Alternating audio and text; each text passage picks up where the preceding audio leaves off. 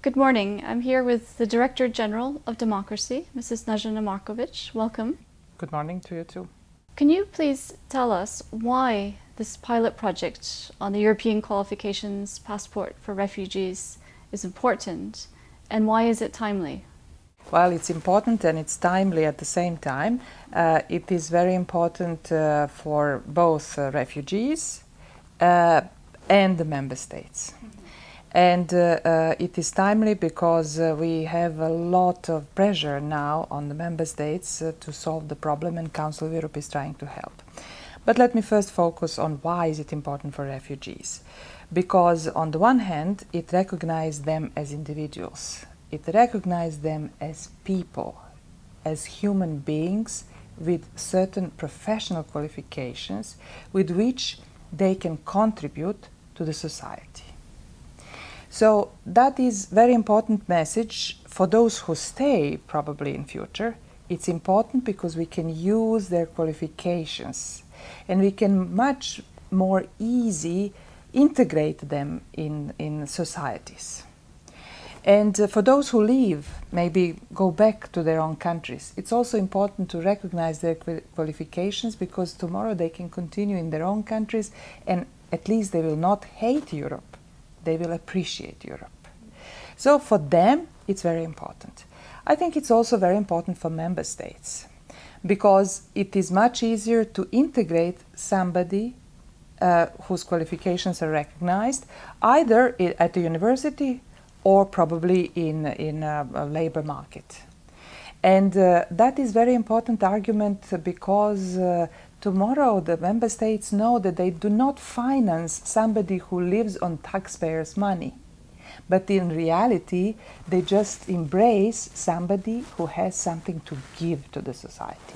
For Council of Europe, this is important too, because it also um, uh, very much in a very concrete and tangible way shows how uh, diversity is not a threat, but it could be really used as an advantage. And uh, I appreciate very much, I must say, the methodology that we use because it's very concrete and if it is, uh, uh, and it's piloted, so it's experimented. It's not just an invention, but it is piloted with different uh, refugees and with different member states. It helps, and it might in the end even uh, spare resources, both intellectual, but also financial resources that overall process of recognition demands.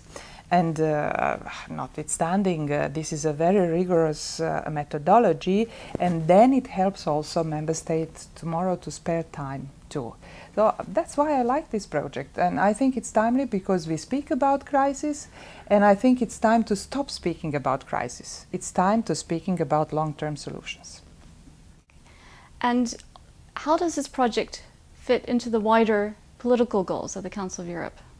It is uh, very much appreciated uh, uh, in Council of Europe and it has a lot of political support because uh, um, our member states uh, have uh, adopted several action plans where this particular project fits in perfectly.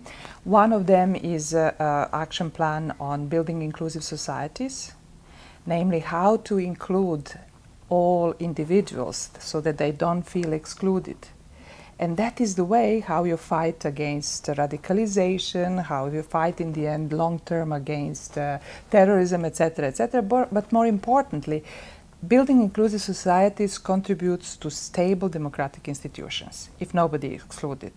And of course, refugees integrated as well. But then we have an action plan uh, uh, on uh, to, to support refugee children, and this is one of the of the uh, possibilities to help them too. And finally, uh, we have a Secretary General's report that specifies indeed that recognition of qualifications is important.